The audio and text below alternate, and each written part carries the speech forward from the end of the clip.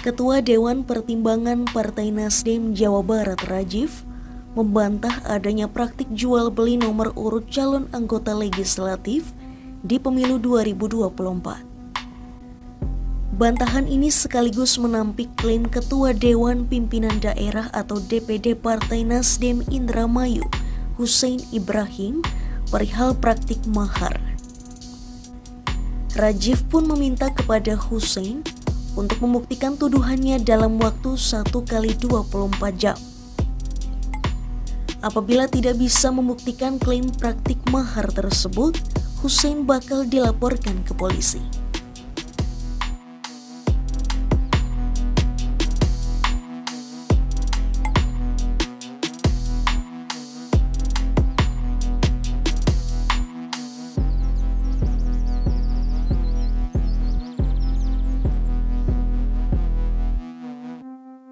Tuduhan Husin pun dinilai sudah mencemarkan nama baik Partai Nasdem serta pengurus Dewan Pimpinan Wilayah atau DPW Partai Nasdem Jawa Barat. Namun demikian, jika tuduhan Husin terbukti benar, Dewan Pimpinan Pusat atau DPP Partai Nasdem akan memberikan sanksi yang tegas kepada pihak terkait. Sebelumnya beredar sebuah video yang menunjukkan kader Partai Nasdem mencopot sejumlah atribut partainya. Mereka melempar seragam, merobek spanduk hingga stiker bergambar pimpinan partai. Kericuhan itu ternyata terjadi di kantor DPD Partai Nasdem Indramayu pada Minggu 11 Juni 2023.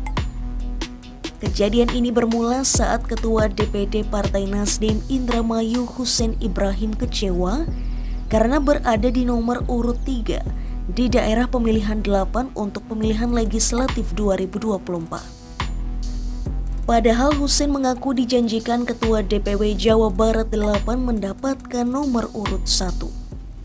Kami menagih janji Ketua DPW bahwa Jabar 8 untuk pencalekan DPR RI kami dijanjikan nomor urut 1.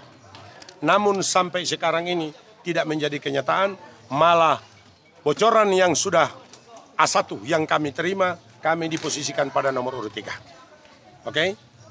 Nah, di saat kami mempertanyakan tentang menyangkut masalah nomor urut 3, di saat itu DPW lakukan rapat dan memutuskan saya boleh dipindahkan kepada posisi nomor urut 2 dengan catatan tiga setengah miliar harus disiapkan kompensasinya.